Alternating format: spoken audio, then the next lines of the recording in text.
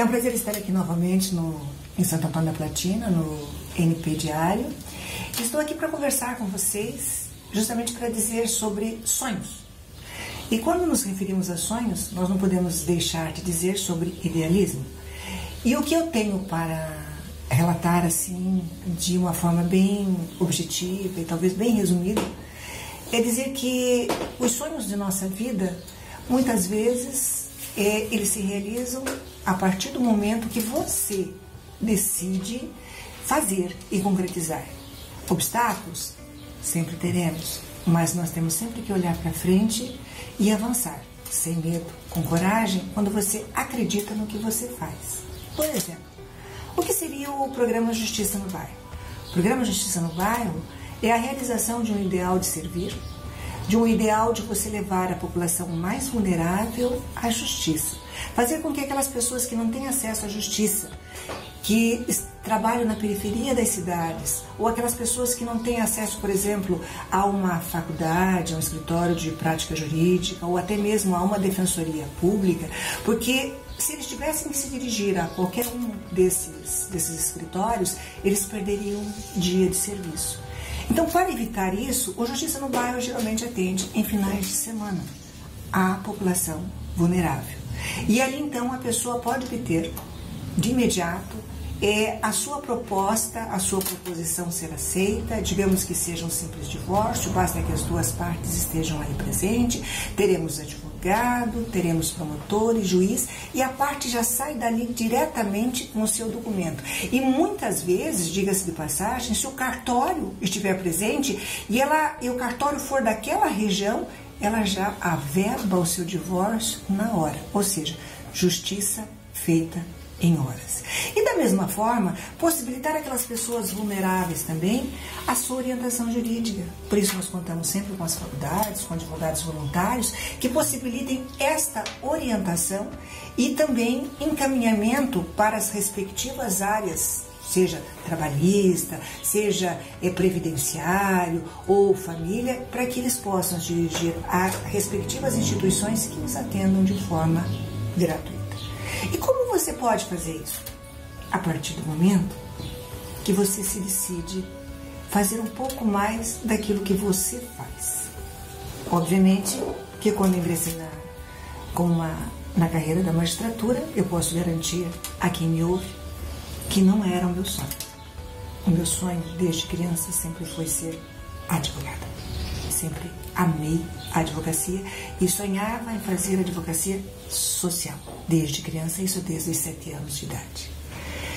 Só que a magistratura acabou acontecendo neste percurso. Eu era defensora pública e, na condição de defensora pública, sempre me sempre exigia um pouco mais de mim, fazer com que as pessoas pudessem ser atendidas, ter uma justiça mais próxima. E como fazer essa justiça mais próxima? Quando você tem um pouco mais de poder. Por isso que eu digo que nós podemos fazer um pouco mais de nós mesmos quando nós estamos num cargo. Então, como magistrado, passei no concurso e já imediatamente comecei a trabalhar no sentido de acolher a população vulnerável. E fazendo isso de uma forma muito mais simples, gabinete aberto, podendo falar com todos os advogados, conversar com todas as partes e a partir do momento que você atende uma parte, muitas vezes na, no interior onde eu era magistrada na época, é, nunca existiu defensoria pública naquela época e não existia também, dependendo da comarca, eram pouquíssimos advogados, muitos advogados vinham até de outras comarcas maiores para a região. E como eu tinha uma população, às vezes interminável, que era atendida pelo Ministério Público, aquilo é, me deixava com pesar, porque muitas coisas o Ministério Público não conseguia atender e precisava que um advogado atendesse. Então, quantas e quantas vezes eu chegava para o advogado e disse: Ah, doutor, o senhor pode atender para mim? Aí o advogado, muito educado, não ia dizer não para o juiz. E aí então ele atendia, só que aquele processo terminava naquele exato momento, porque as partes já estavam ali. Então, isso tudo começou há muitos e muitos anos atrás, logo no ingresso da minha carreira, porque eu sempre pensei, sempre tive comigo que justiça você pode fazer e que você pode fazer de forma simplificada, sem contrariar o texto legal, sem contrariar em absoluto o rito, mas fazer de forma simplificada quando você une toda a rede num único momento.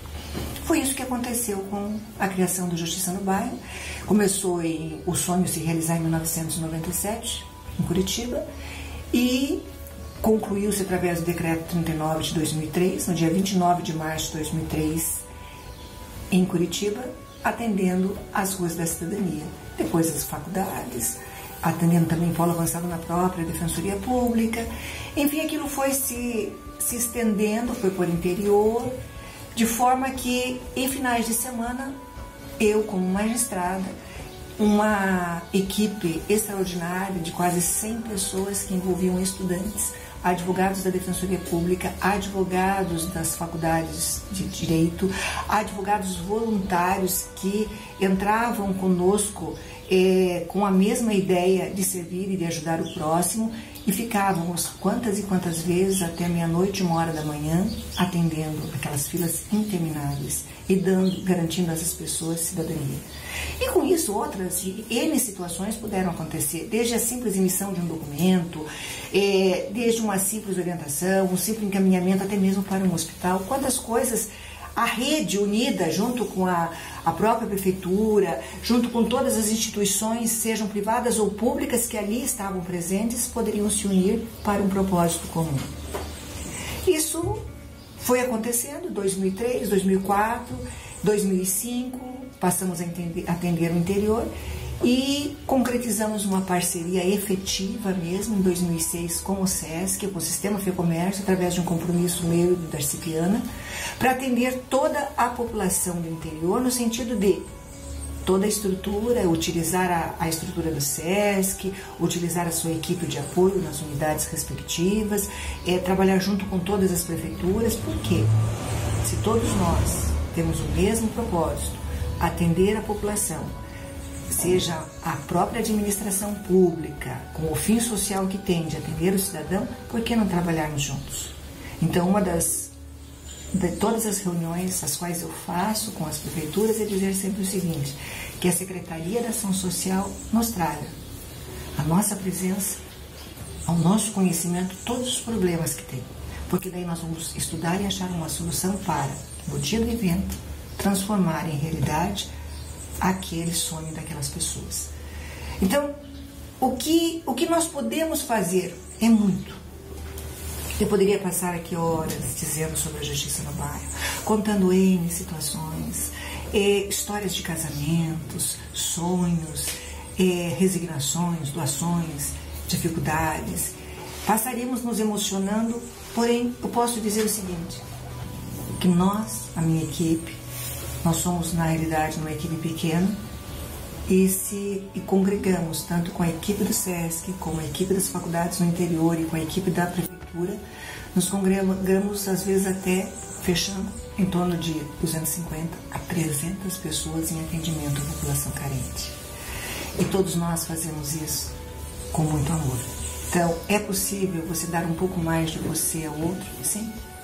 Ofereça teu trabalho não aquele que você faz no dia a dia, mas aquele que você pode realizar no teu tempo de descanso.